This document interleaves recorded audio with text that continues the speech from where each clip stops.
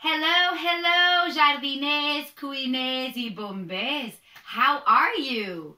So, today, do you remember that we learned about caterpillars that turn into butterflies?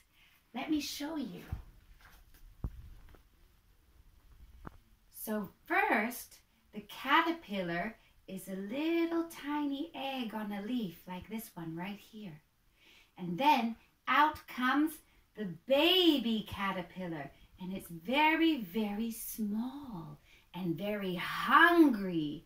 So it starts eating and eating and eating and eating and eating and it becomes a big, strong, fat caterpillar. So then he wraps himself up in a cocoon and he goes to sleep for 15 days.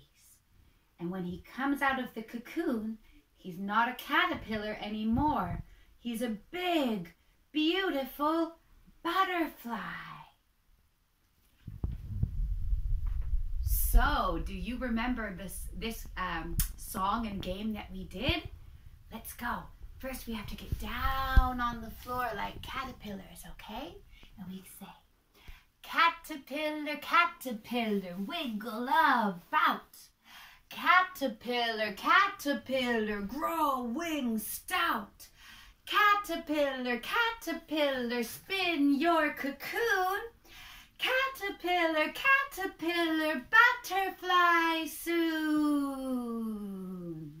Let's do it again. Ready? Caterpillar, caterpillar, wiggle about.